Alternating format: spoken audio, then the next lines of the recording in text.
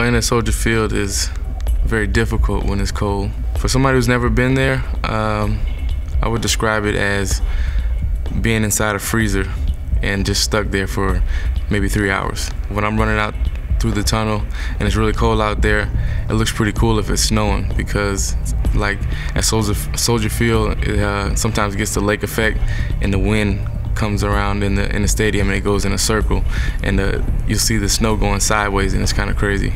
But it also at the same time gives us an advantage because we're used to playing in that type of weather and that atmosphere and um, you know, it's just a great atmosphere to be out there with all the fans, and see some of the fans they're out there shirtless, and it's freezing out there. So, um, you know, it's a great atmosphere to, to, play in. As a pro athlete, it's, it's really important to have Hyperwarm because you don't have to worry about going out in the cold and worrying about you know, staying warm out there, and instead you can focus on playing football. And if your mind's not focused out there, you know, you're not going to be at your best.